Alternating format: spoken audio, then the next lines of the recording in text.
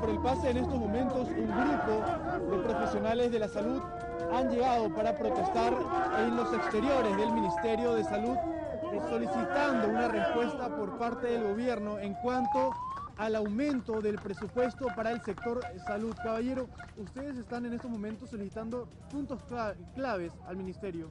Sí, eh, uno de ellos es el aumento del presupuesto para nuestro sector. Lamentablemente tenemos el 2.3 del PBI, que es menos de la mitad del promedio latinoamericano.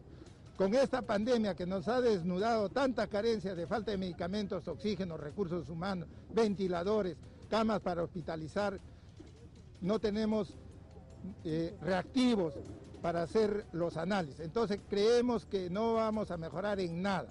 Lamentablemente, para el 2021 se está incrementando el 0.12%, vamos a estar igual o peor, ya que este virus ha dejado muchas secuelas. Ahora, lo que también solicitan es el nombramiento al 100% porque muchos profesionales eh, actualmente están eh, inmersos en el caso. Nosotros hemos dado la vida, más de 800 profesionales han fallecido, tenemos una ley de nombramiento que lamentablemente el expresidente Vizcarra lo mandó al Tribunal Constitucional. Nosotros le pedimos al presidente Sagasti que en un acto de buena fe retire esta demanda constitucional y esperamos que el Tribunal Constitucional nos dé la razón pronto porque son trabajadores que están siete años de casa, cuatro a seis años de tercero, más de 13 años, algunos casos, tratando de estabilizar su condición laboral y creemos que esto es algo muy injusto. ¿Qué tal? Eh, bienvenida a 24 horas edición mediodía. Ustedes también solicitaban eh, la incorporación de los EPPs correspondientes porque nos mencionaban que muchos trabajaban sin estos implementos importantes.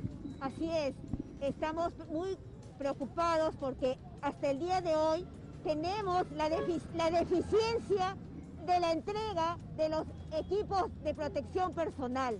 Muchas veces por ejemplo, en la DIRIS Lima Norte hay una gran denuncia por la falta por la entrega, se está entregando una vez por semana los equipos de protección personal. No nos parece justo, porque la atención primaria, el nivel primario también corresponde a la atención de los pobladores de la comunidad. ¿Cómo hacen para trabajar sin estos implementos importantes? Muchas veces tenemos que comprar nuestros implementos.